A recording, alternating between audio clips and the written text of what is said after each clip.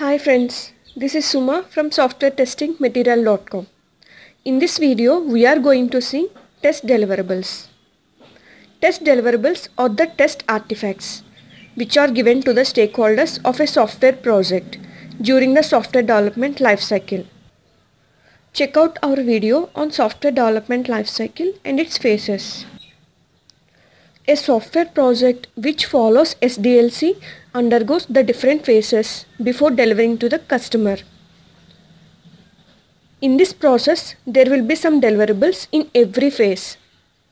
Some of the deliverables are provided before the testing phase commences and some are provided during the testing phase and rest after the testing phase is completed. List of the test deliverables are test strategy, test plan, effort estimation report, test scenarios, test cases or test scripts, test data, requirement traceability matrix, defect report or bug report, test execution report, metrics, test summary report, test incident report, test closure report, installation guide, test status report. Let's see all the mentioned deliverables one by one in detail. Test strategy. Test strategy is a high level document and usually developed by project manager. It is a document which captures the approach on how we go about testing the product and achieve the goals. It is normally derived from the business requirement specification documents like test plan are prepared by keeping this document as base. Even though testing differs between organizations, almost all the software development organizations follow test strategy document to achieve the goals and to follow the best practice. Usually, test team starts writing the detailed test plan and continue further phases of testing once the test strategy is ready. In agile world, some of the companies are not spending time on test plan preparation due to the minimal time for each release, but they maintain test strategy document. Maintaining this document for the entire project leads to mitigate the unforeseen risks. This is one of the important documents in test deliverables. Like other test deliverables, test team shares this with the stakeholders for better understanding about the scope of the project, test approaches and other important aspects such as what tools we use like automation tools, test management tools, what would be test deliverables, test metrics, roles and responsibilities, and also we specify risk analysis and mitigation plan. Test plan. Test plan document is a document which contains the plan for all the testing activities to be done to deliver a quality product. Test plan document is derived from the product description, SRS or use case documents for all future activities of the project. It is usually prepared by the test lead or test manager. And the focus of the document is to describe what to test, what not to test, how to test, when to test and who will do what test. Also it includes the environment and tools needed, resource allocation, test technique to be followed, risks and contingency plan. Effort estimation report. Effort estimation report deal with the estimated effort and actual effort on each task. Before a sprint starts, you need to enter the original estimates of your task. And as you work on the tasks during the sprint, you may need to adjust the remaining estimates as necessary. Test scenarios. Test scenario gives the idea of what we have to test. Test scenario is like a high level test case.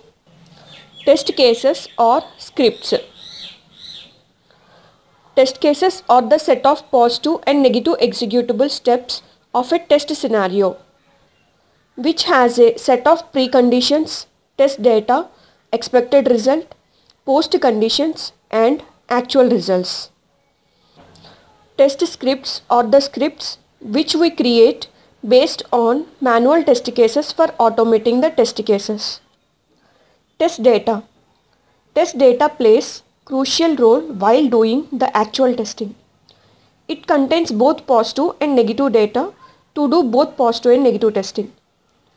We do place all the test data in database or XLS or CSV files or any other format and uses that while doing testing. Most of the companies get the real-time historical data from client and use it while testing. Requirement Traceability Matrix Requirements Traceability Matrix is used to trace the requirements to the tests that are needed to verify whether the requirements are fulfilled. Earlier we have made a video on requirement traceability matrix. In that we have explained it in detail. Defect report or bug report.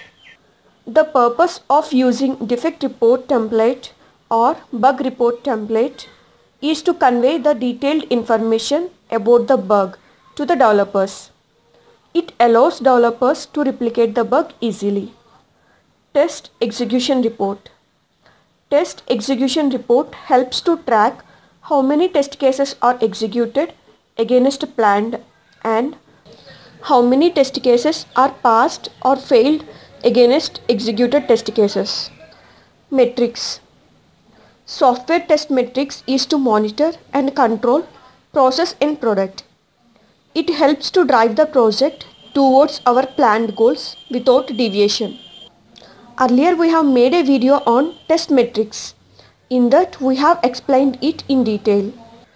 Test summary report. A document that formally summarizes the testing activities and final test results. It is prepared at the end of a testing project. Test incident report. The purpose of the test incident report is to document abnormal events that occurred during different test phases. Here we track the unplanned interruptions which needs to be reviewed. Test closure report.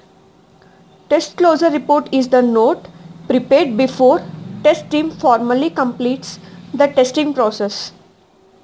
This note contains the total number of test cases, total number of test cases executed, total number of defects found, total number of defects fixed, total number of bugs not fixed, total number of bugs rejected, etc.